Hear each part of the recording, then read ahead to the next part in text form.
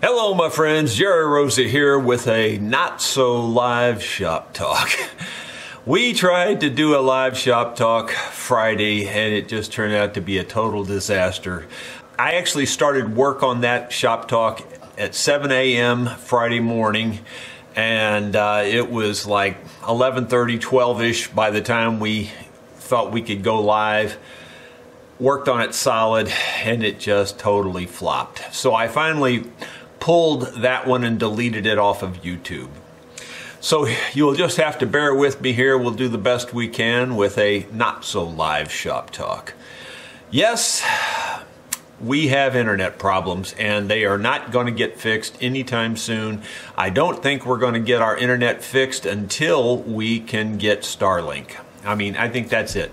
They have changed something on our local cell towers that has throttled us down. Probably, they probably saw all my activity that I'm doing out here. See, we're in a very rural area, and the activity on that cell tower probably you know, pointed directly to me or at least to that cell tower specifically, and uh, they've done something to throttle it. I'm, I'm, sure that's what it is because we had 4G antenna service for a couple of years and it was very, very, very good service. We were getting at least 20 megabytes down and anywhere from 6 to 10 up, which is for a rural area is just awesome. Had no complaints whatsoever and then all of a sudden it didn't work anymore. So, and I worked with 4G for a long time and they couldn't do anything about it. So I switched to Nomad, which cost me an additional $40 a month, which I was already paying around 80. So I'm actually paying right at 130 now. Um, anyway, make a long story short, uh, the Nomad service is no better and their customer support is even 10 times worse. So I am just not happy with Nomad at all. I would not recommend them to anyone based on their customer service more than anything. But uh, I am sure it's a cell tower issue. The reason I say that is because even when we had problems with the internet, we could always go to our cell phone and just use the cell phone as the hotspot and make that work. That doesn't work anymore either. That's why the uh, shop talk flopped on Friday because we were trying to use a cell phone and that didn't work either. So they've actually done something to the cell tower out here to, you know, throttle us way down or something. Well, all right, enough said about that. But if you do uh, have any inside information, and when I say inside information, I mean, you know, information that uh, you've heard you know, from a good source that, uh, you know, here's a way that you can get in, you know, early on Starlink, let me know because here in uh, south central Missouri, uh, Starlink seems to be a little ways away from us at the moment. Um, I heard several times now on the internet that Starlink is supposed to be really rolling it out this year and early this year. In fact, I heard in the February timeframe that it would be opened up to us. So that's what I'm doing is I'm basically holding my breath for Starlink. So if you have any inside information or any tips that I can use to uh, get it quicker, let me know. Okay, enough enough on the internet problem. You know, I wanted to cover all the different gifts that people have sent me during this time where we've had so much internet trouble and I haven't been doing the live shop talks. So I wanted to cover those and try to uh, get those out of the way and and say thank you to those folks and then I, that way I can start using these things. I don't typically use any gift like that until I say thank you. So here we go. Let's take a look. And the very first thing I want to talk about is my Academy Award. I have won an Academy Award. Can you believe it? This is not plastic, ladies and gentlemen. This is a real Academy Award. Well, it's real metal anyway. Um, I'd say it's cast bronze or brass or whatever. It's it, came with a, a, you know a document. It says uh, the fake Academy wishes to extend to you this fake Oscar for best in chocolate. So if you don't know what I'm talking about there about chocolate, uh, go into YouTube on the search and just type in RSW chocolate and you'll find it. It's a series, I think four or five parts on restoring an old violin that was completely crushed. And I think you'll enjoy that series. Uh, there's a lot more to it than just what it sounds like. There's a lot of behind the scenes uh, stories and, and, history about the violin and uh, about the girl that owned it. So this came from John Hanson up in Lav uh, Lavania, Michigan. I, that's how I'm going to say it. I don't know if I'm pronouncing Lavania right. But uh, John, thank you very kindly. I appreciate it. Uh, it was a lot of fun to receive this. This will be on a shelf here prominently around my desk. So thank you very much. I wanted to say thank you to Michael Pohl, who sent us uh, four uh, gospel CDs. I haven't even opened mine yet. As I told you, Michael, I, I always like to uh, say thank you before I look at a gift like this. And I appreciate it very much, Michael. I will definitely give this a good listen. Uh, I gave one to um, Melissa and to uh, Caleb, and also to Ron, who makes the deer antler saddles for us. So I know they all enjoy gospel music. So thank you very much. I appreciate it very much, Michael. Next, I want to say thank you to Herschel Rector for giving me uh, another uh, blue chip pick. Um, actually, it got stuck up in here in the uh, in the cardboard, but I still, I haven't opened it yet. It's in the cardboard area here. But uh, it also came with a holder, and that's really cool. So Herschel Rector from uh, Mississippi, thank you very kindly. I love blue chip picks, and it's got my name on it and everything too. So I'm going to be real happy to use that here, and uh, I just wanted to say thank you. We have a uh, unusual, uh, I guess, gift here from um, this fellow Brad Adkins, it looks like, in Portland, Oregon. And here's the, it says silence please. Now, you can take that a couple of different ways. so Brad, I, I hope it's the good way that you want me to maybe hang this on our door when we're doing live broadcasts or something. I, I, I'm assuming that's what it's for. Otherwise, you're just telling me to shut up. So I'm not really sure which it is. But, but Brad, thank you very much. We will use the sign on our door out there. I am positive. The next one is from uh, John C. And John sent us a real nice iron here. I had seen these on uh, Amazon and thought about getting one of these. This is one of these uh, sealing irons that people use. I know they use them on planes and all kinds of things for sealing the fabric uh, over the wings and things like that. Um, it's heat adjustable.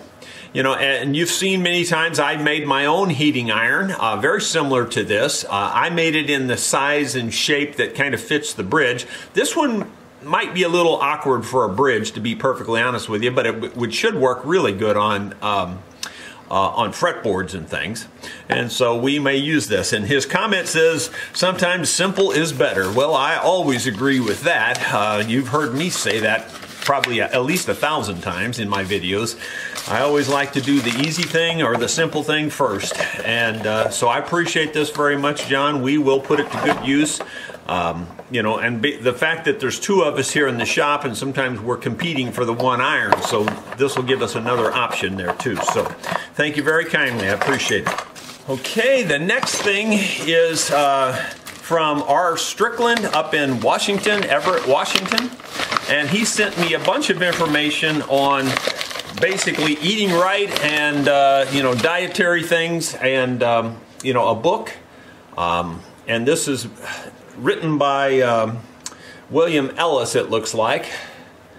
Yeah uh, well no Robert Strickland is the uh, editor so so Robert uh, had something to do with it but it was written I think written by William Ellis and uh, Robert Strickland was the editor it looks like so, uh, Robert, uh, thank you very much. I appreciate this. I will get it out now and read that.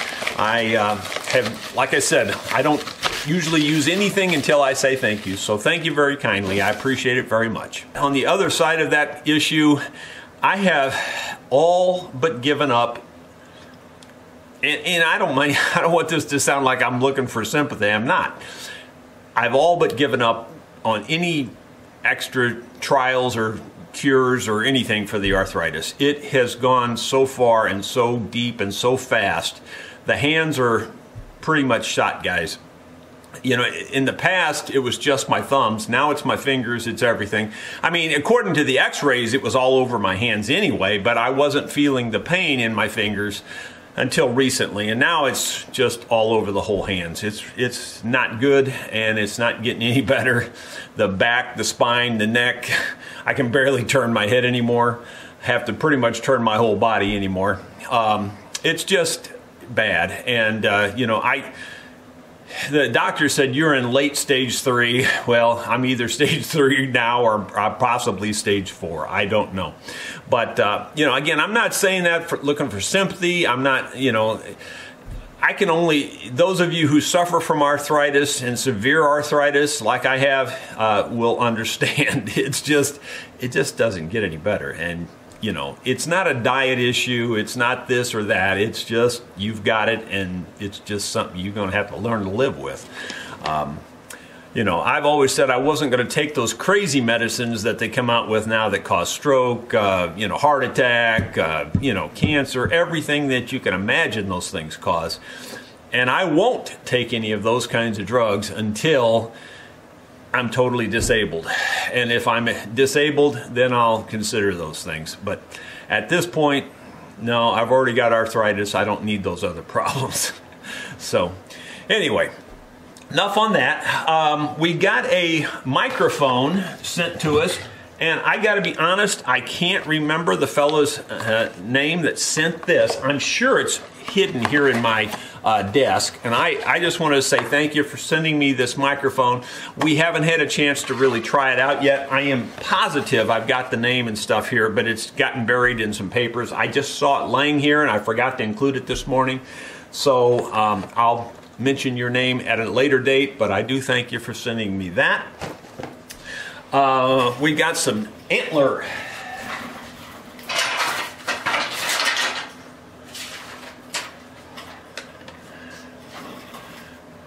This is uh, from Mike Baumhover, uh, B A U M H O V E R, and he's up in Iowa, and uh, Ames, Iowa, it looks like. And these are some big boys here. I mean, well, the, this one is is good size. This one here, um, it's not huge or anything, but this boy here, this is a big boy. this is a big boy. When you grab a hold of this one, you know you got a hold of something. I mean, it, this was a very mature, big old white-tailed deer. And, uh, you know, great, big, thick rack. So we'll be using those, I guarantee you, and uh, they'll live for a long time on musical instruments to come. So thank you very kindly there, Mike Baumhover. I appreciate it very much. This one didn't actually have a name with it that I could find, the name on the return address says Gary Fisher Wahoo International, which I'm assuming is the company where this came from, uh, Vista, California. That's the only clue I have. But this is Solarez um, uh, UV cured grain sealer. And I've tried Solarez product in terms of the finish and stuff, and I think it's a good product, but I'm, I'm a little afraid to try it on an instrument, to be perfectly honest with you, because I don't know what it's going to do to the sound. And after you do all of that work, you sure as heck don't want to mess up the sound. But I will be doing some experiments with this grain sealer to see if it uh, does a good job for me. I sure do appreciate whoever sent this to me. If it was Gary Fisher, well, thank you, Gary Fisher. But uh, I have a feeling it was someone else. But thank you very kindly. I really appreciate it. And last but not least, Daryl Blanchard uh, from Oklahoma, who came out and stayed at our rental retreat here, uh, sent me a, a, block of this. Um, uh, lignum vitae uh, is lignum vitae. I, I, don't know how to pronounce it. Uh, that's how I pronounce it, lignum vitae. The reason he sent me a block of this was for testing. I was looking for a wood that would turn green or be green for the uh, using it for my inlay work with my roses and things. And he says if you put hydrogen peroxide on this, it turns green. And you know, being colorblind, it's difficult for me to tell one change anyway. But if I was guessing, I'd say that wood looks a little on the green side already. So at least part of it does. So thank you very much, Daryl. We'll do some testing on that as well. That concludes all of the uh, gift ideas just moments ago, I don't know how it's going to relate in time to this video, but just moments ago I released another part of the 12 string build. I just thought I'd show you on camera here just where we're at on the 12 string. You can see I've got the holes drilled in the peg head. The, I've got a, a um, Padauk overlay on the peg head there. So the neck is pretty much shaped. It's in, it's in very good shape. Um, not completely finished, of course. I do have the truss rod in it, by the way. I'm going to put on a rosewood fingerboard, and um, this uh, this rosewood has had some test oil put down here, uh, and we'd have to put some more on it to make it match all the way. But you can see what it's going to look darker as it as we uh, oil it up and everything. I have a piece of uh, rosewood here that I'm probably going to make the um, pick guard out of. This stuff is so resonant, even the pick guard would, if I don't know if this will, if you can hear it or not, but listen.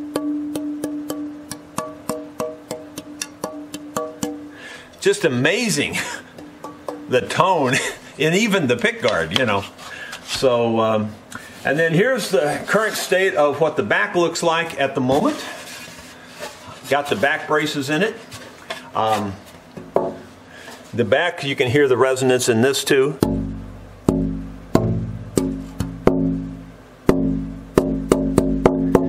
really, really resonant. And then here's a close-up of what the uh, rosette looks like right now. And this is just like, this is like an African drum. I mean, this is incredible.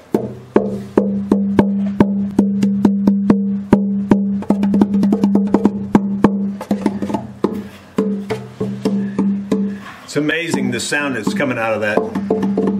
So that's really going to be a resonant body for a guitar there. So anyway, that's where we're at presently on the 12 string. I just thought I'd bring you up to date on that. I also have a video of me playing and singing a little tune on the uh, Carolina Rose guitar and we'll insert that right here. Well friends, the Carolina guitar has been sitting in the shop for a couple of weeks now. I just love this guitar. I think it's just a great guitar. I told Caleb a minute ago if I kept this guitar, I'd probably start playing guitar instead of mandolin.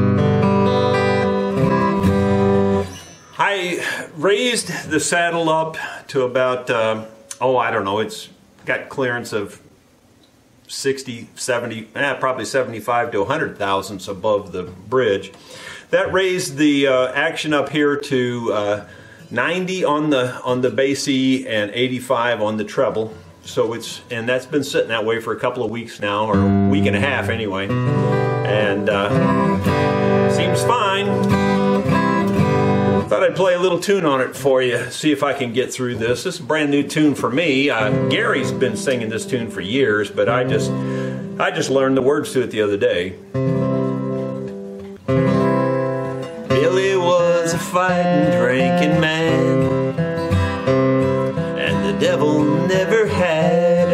friend.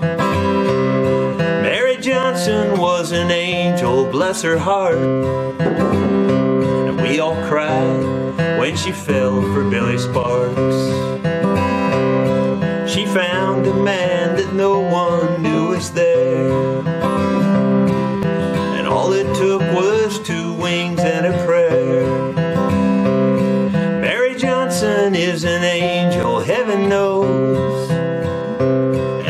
Proved it seven Sundays in a row. And seven Sundays in a row, he's been in church. And he's a little hard to recognize. And his tie and starched white shirt. And there's a battle raging in his troubled soul. But God's won seven Sundays in a row.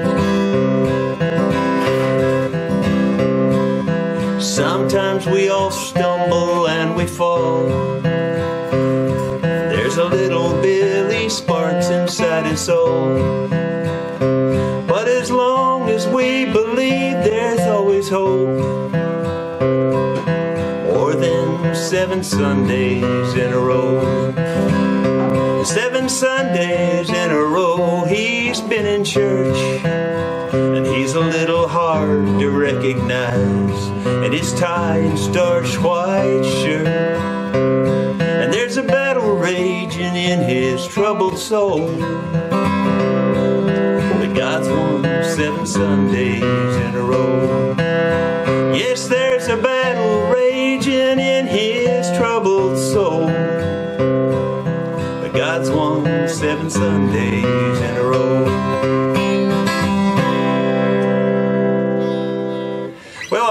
enjoyed that little tune here on the Carolina Rose guitar. We're going to be packing it up shortly and sending it back to its rightful owner. And then, as in all shop talks, I try to give at least a at least a little bit of a tip or a trick or suggestion or education, something. And so today we're going to do that on the truss rod. You know, there are probably more misunderstandings and more myths and more problems created by the truss rod than anything on the guitar. I mean, this is probably, in my opinion, at least at least several years ago, and, and part of it has been the fact that I keep preaching on this on my videos. And so some of you have heard this a few times already, and uh, it may sound like a broken record to some of you.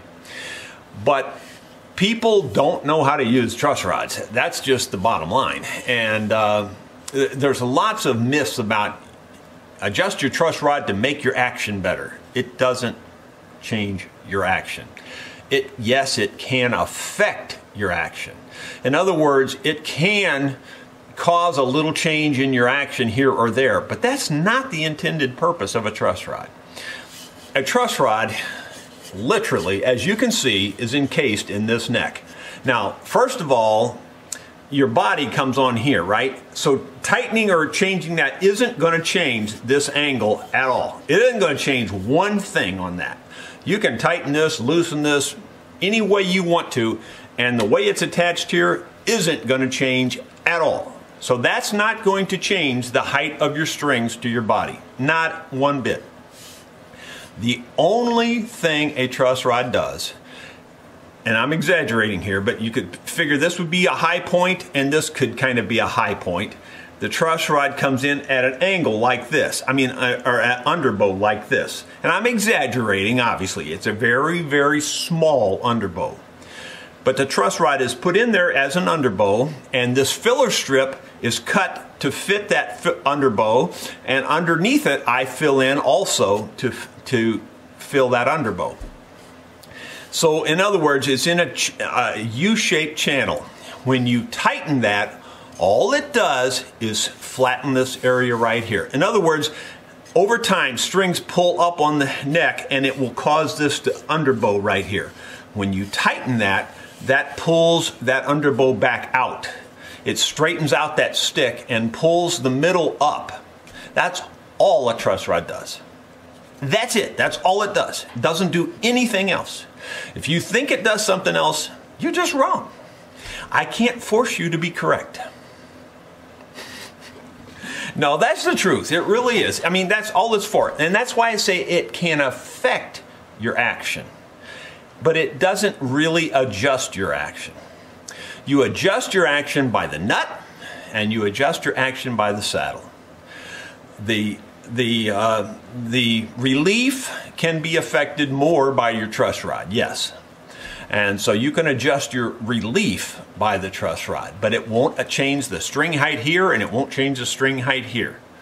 It just doesn't do that in extreme, extreme, extreme cases where you've really let the truss rod go for a very long time and the neck is really pulled up, sometimes it will do a lot more on those extreme cases.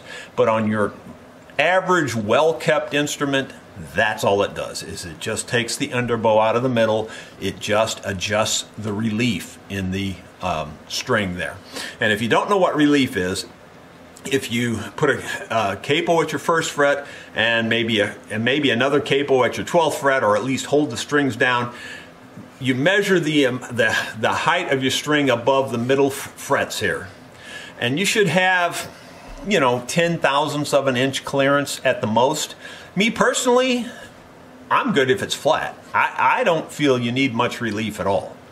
But uh, I wouldn't go much beyond 10 thousandths. Some people go to 12, and that's probably okay, but I certainly wouldn't go above 12. Flat, in my opinion, is better than too much relief. So, anyway, that's my opinion, but everybody's got an opinion. So that's what I know about truss rods, and that's your shop tip for today. And by the way, that's not just my opinion on your truss rod. You can go to Gibson or Martin Literature and see the exact same information. They'll tell you the same thing. It's not there to adjust your action. Hope that helps you. Thank you so much for watching. Have a great day.